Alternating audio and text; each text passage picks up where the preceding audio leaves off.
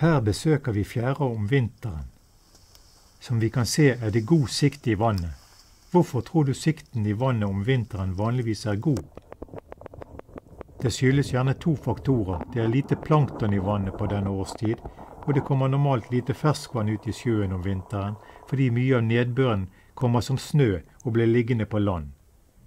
På andre årstider tar regnet seg ut i fjorder og kystvann, og når saltvann og ferskvann møtes, reduseres sikten, også fordi ferskvann bringer med seg mange såkalte humusstoffer ut i sjøen. Men hvor er det blitt av alt det andre dyrelivet? Om sommeren er det her et yrende liv av særlig strandkrabber her.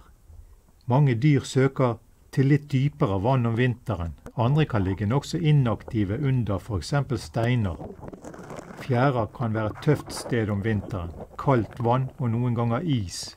Og her er dessuten lite mat å få tak i. Dette er også vinteren, men det har vært noen milde dager med regn, og vi har fått mer ferskvann ut i sjøen. Når ferskvann og saltvann blandes, blir sikten dårligere.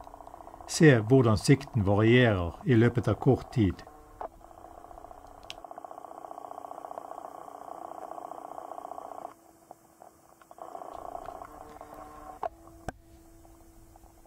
Noen ganger om vinteren får vi isdannelse i enkelte fjorder og viker, særlig i indre deler.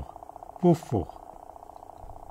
Bl.a. fordi her er vannet mindre salt enn lengre ute med kysten og havet. Jo saltere vannet er, dess mindre er sjansene for isdannelse.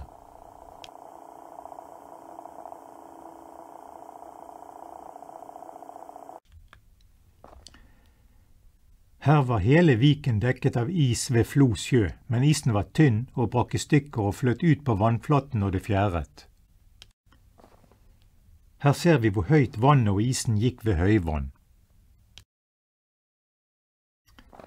Der det er rim, nådde ikke vannet opp ved forrige høyvann på grunn av høytrykk.